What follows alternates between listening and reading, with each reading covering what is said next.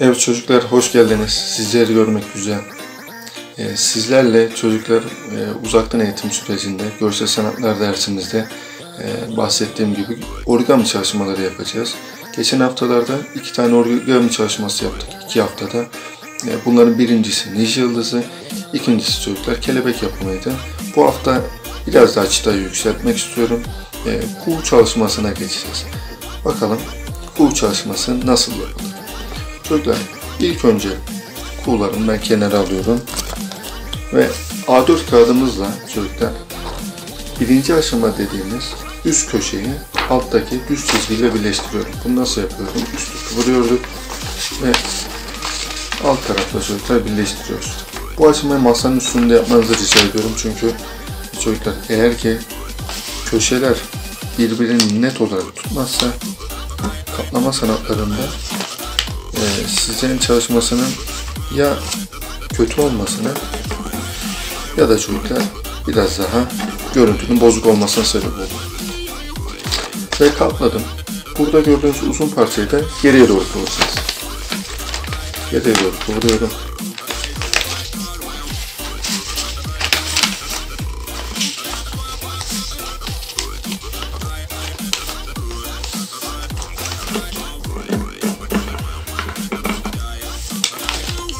Çocuklar burada gördüğünüz kıvırdığım parçamı keseceğim ve bu parçayı atacağım. İşime yaramayacak bir parça. Sizlere tavsiyem ya makasla kesmeniz ya da çocuklar elinizle dahi kesseniz düzgün kesmeniz. Ben elimle keseceğim. O yüzden köşe kısmından çocuklar her zaman e, çok sert bir şekilde elimle bastırıyorum. Bunu tüm aşamalarda yapın. Ve gördüğünüz gibi orta kısımda çocuklar düz bir çizgi oluştu. Ben şimdi tam orta kısımda yeni bir çizgi oluşturmak için çapraz bir şekilde bir daha kaplıyorum.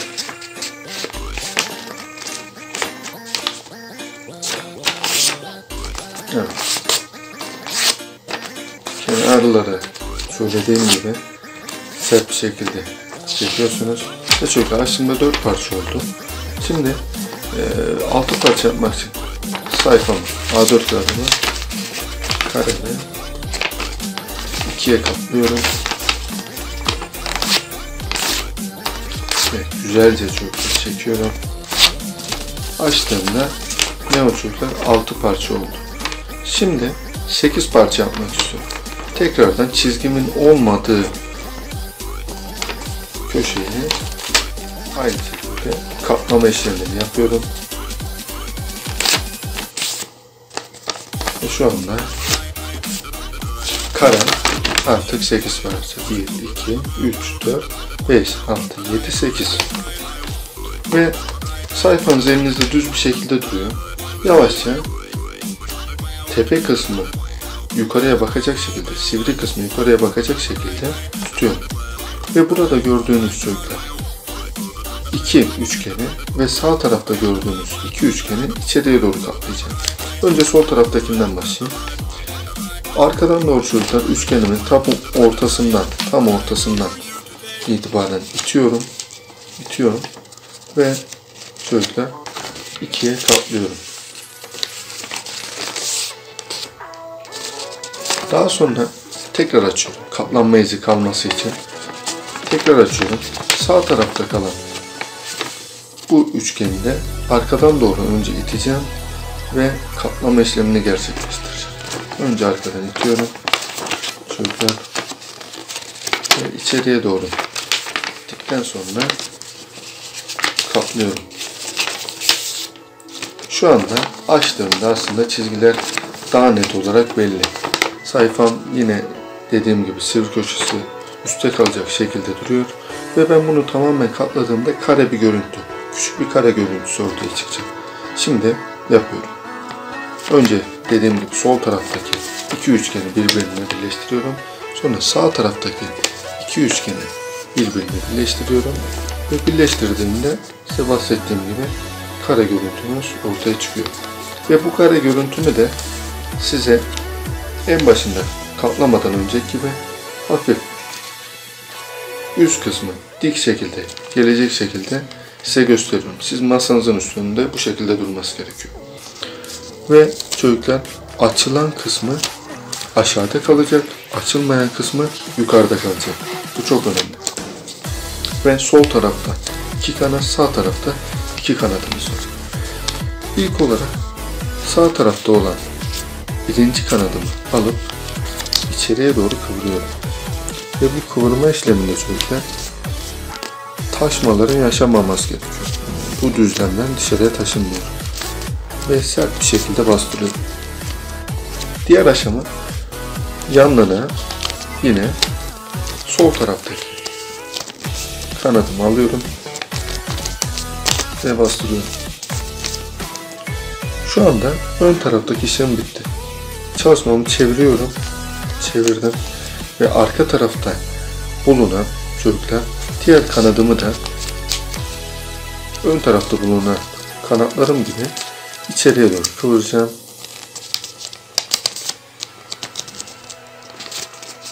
İçeriye doğru kıvıracağım. Ve aynı çocuklar benzetmek gerekirse bir uçurtma gibi çalışmam orada da gözükecek. Bu aşamadan sonra yukarıda gördüğünüz üçgen parçasını öne doğru, öne doğru kıvıracağım. Kıvırdım ve bu görüntü ortaya çıktı. Yüz kısmı tamamıyla çocuklar bastırın. Eğer ki e, ben size kameranın karşısında anlattığım için göstererek yapıyorum.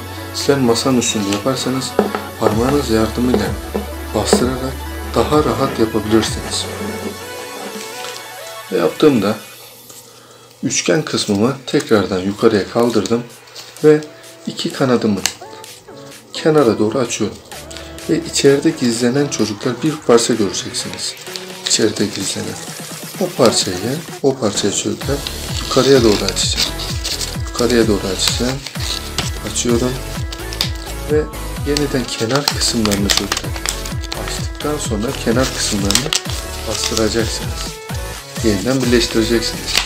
Ve bu kısmı birleştirdiğimde görüntünüz karşımızda aynı bir çocuklar baklavanın üçgeni gibi karşımızda duruyor. Şimdi çalışmasını bu, bu hale getiren arkadaşımız çalışmasını arkaya çevirsin. Ve arkada da ön tarafta gördüğümüz gibi e, aynı şekilde çalışmamız duruyor. Yine aynı işlemi tekrarlıyorum. Kanatları sağa ve sola ayırdıktan sonra içerisinde gizlenen içerisinde gizlenen çocuklar bu parçayı dışarıya doğru çekeceğim. Çekiyorum ve açılıyor çocuklar. Açıldığında ne yapıyordum? Açtıktan sonra kenarlarını tekrardan içeriye doğru büküyordum. Değil mi? Belki her zaman söylüyorum ama çocuklar yine yine ee, ben tekrar etmek istiyorum. Sizler masanın üstünde yapın. Çünkü bu kısımlar her zaman çocuklar ne kadar sert ve düzgün durursa çalışmanız o kadar güzel olur. Evet. Bu aşamamda yaptıktan sonra görüntüm bu şekilde kalıyor. Ee, burada çocuklar alt tarafta gördüğünüz gibi iki kanat ortası çocuklar kesik bir şekilde duruyor. Üst taraftaki ama kapalı bir şekilde duruyor. Açık olan bir tarafı yok. Bunu elinizde benim tuttuğum gibi tutmanızı istiyorum. Bakın. Açık olan kısmı aşağıda, kapalı olan kısmı yukarıda kalıyor. Ve yeniden yeni bir aşamamıza geçelim. Burada çocuklar gördüğünüz e, gibi iki tane kanat var her iki köşede de. Öncelikle aşamaları birer kanatla yapıyoruz. Size gösterdiğim kısmından bir kanadımı alıp bir kanadımı alıp çocuklar kesik olan tarafını sivri olacak şekilde içeriye doğru katlıyorum. Bakın tek kanat aldım. İkinci kanadı almadım. Tekrardan sol tarafındaki parçamı da çocuklar alacağım. Benim de masamın yardımına ihtiyacım var bazı noktalarda. Aldım ve büktüm. Birinci görüntümü oluşturdum. Şimdi arkaya çevireceğim. Ve arkada da aynı işlemi tekrarlayacağım. Kanadım aldım. İçeriye doğru kıvırıyorum. İçeriye doğru kıvırdım. İçeriye doğru kıvırdım. Yine çizgimi taşınmadım. Sol taraftaki kanadımdan da aynı şekilde içeriye doğru kıvırma işlemini yapıyorum. Ve köşeleri sıkıca çekiyorum çocuklar. Şimdi bu aşamadan sonra çocuklar önce şunu yapıyorsunuz. Katladığımız, katladığımız çocuklar köşeleri içeriye doğru gideceğiz. Yani birinci ayağım öncelikle kenar kısımlarını açıyorum. Kenar kısımlarını açıyorum. Katladığım köşelerini düz bir şekilde açıyorum.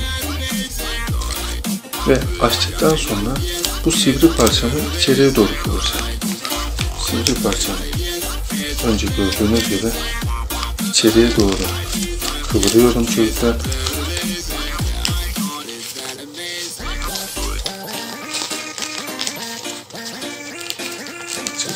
Kıvırıyorum. Ve bu şekilde bir görüntü karşıma çıkıyor. Aynı şeyi burada tekrarlayacağım. Önce kenarlarını açıyorum. Katladım kanadı kenarını bu şekilde açıyorum. Ve sonrasında tekrardan içeriye doğru bükme işlemini gerçekleştireceğim. İçeriye doğru büküyorum ve kenarlardan tekrardan şöyle bastıracağız. Kenardan tekrardan bastırıyorsunuz.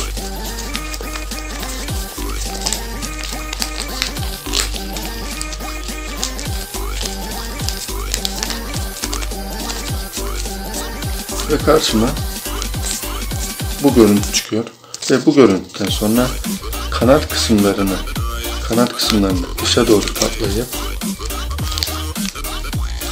kanat kısımlarını dışa doğru katlayıp iki köşeyle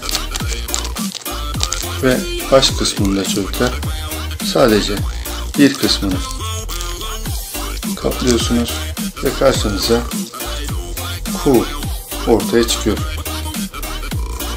Yaptığımız 3 kuğuyu da arka arkaya koyalım. Evet çocuklar bu aşamaları e, sizlerden ricam e, tümüyle iyi takip etmeniz ve yaptıktan sonra da bu fotoğrafları benimle paylaşmanızı istiyorum. Hepinize katıldığınız için teşekkür ediyorum. Hepinizin güzel çalışmalarını sizler gibi e, güzel olan çalışmalarınızı bekliyorum. İyi haftalar diliyorum. Kendinize dikkat edin.